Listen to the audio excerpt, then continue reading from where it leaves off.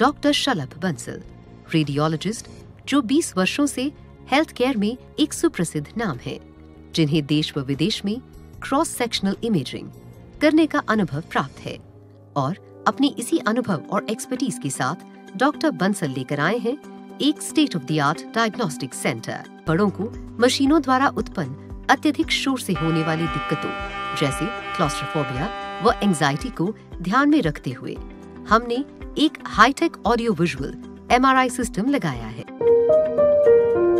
Tesla imaging and diagnostic centre. पैगंबर मोहम्मद साहब पर भाजपा प्रवक्ता नुपुर शर्मा द्वारा की गई विवादित टिप्पणी को लेकर आज शुक्रवार की नमाज़ के बाद कानपुर में नई सड़क पर लोगों ने प्रदर्शन करते हुए जमकर बवाल किया।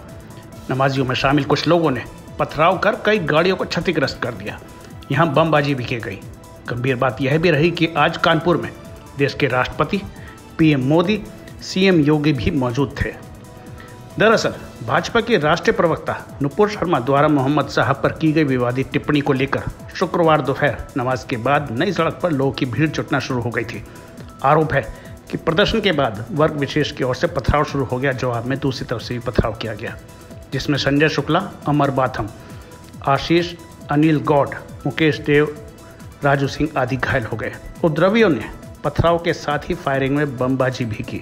बवाल की सूचना पर भारी फोर्स के साथ ही डीएम नेहा शर्मा, संयुक्त पुलिस आयुक्त आनंद प्रकाश तिवारी के साथ कई सर्किल के एएसपी और पीएससी समेत भारी फोर्स मौके पर पहुँचा। माहौल को देखते हुए क्षेत्र में भारी फोर्स तैनात कर दिया गया है।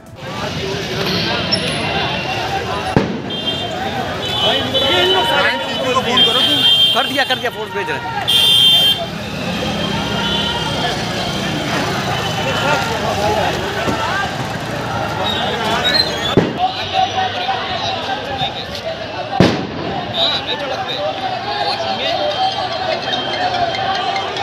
इस खबर में फ़िलहाल इतना ही।